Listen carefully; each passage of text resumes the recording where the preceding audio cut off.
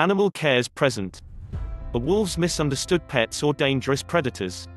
A dog attack lawyer can answer your questions about dog bite attacks and dog bite laws, educating you on which breeds may not be covered for incidents. BSL, or breed-specific legislation is in place in the US and some other countries. California has some of the strictest animal regulation laws in the US. It is illegal to own a wolf, but a second or higher generation hybrid can be owned. If your dog is as little as a 1% wolf hybrid, you must handle it as an exotic animal, which comes with different restrictions based on the area in which you house your wolf. You're required to purchase a permit from the Department of Fish and Game if you own an animal that is 50% wolf. The Department of Fish and Game issues permits only to qualified individuals or institutions for limited purposes such as research, public exhibition, or shelter.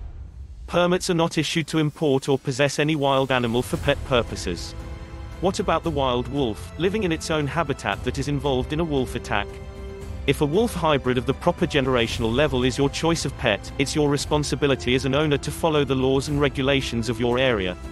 Only reputable breeders should be considered when choosing your pet. Your pet's vaccinations must be up to date. Canine rabies vaccines might not be effective if administered to your wolf hybrid. Most importantly, if your hybrid bites someone, the incident will be handled as a wild animal attack, not a pet attack. Being attacked by an exotic animal like a wolf may entitle you to compensation. A dog attack lawyer can answer these issues using local dog bite laws, and the laws concerning a wolf attack. 38 fatal attacks occurred in the US last year, more than twice that amount were non-fatal.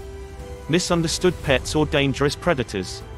The responsibility of any animal's behavior is on the owner. Dog bite attacks are taken very seriously in by both local municipalities and state laws. Thanks for your time to watch this video. Kindly click the subscribe button and the bell ring to notify you for my next video. Have a nice day.